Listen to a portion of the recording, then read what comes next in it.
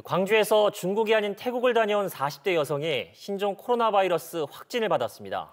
이 지역 감염에 대한 걱정이 커지고 있습니다. 표준규 기자가 보도합니다.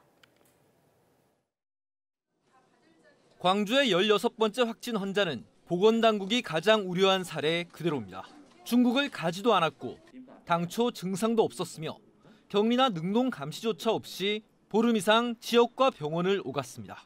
특히 수도권을 넘어 제주와 광주까지 뚫리면서 본격적인 지역 감염으로 넘어왔다는 우려도 나오고 있습니다.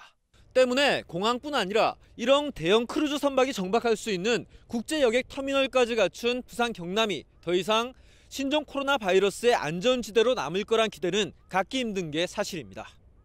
상황이 이런데도 지역 차원의 대처는 항상 한 걸음 늦을 수밖에 없습니다.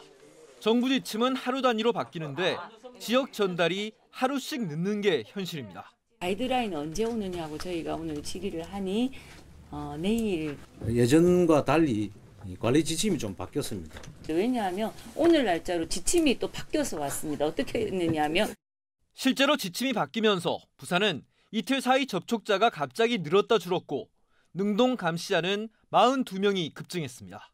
전수 감시 대상도 지침 변경에 따라 건강보험심사평가원과 부산시 질병관리본부 사이를 번갈아 오가며 불안과 혼선만 키우고 있습니다.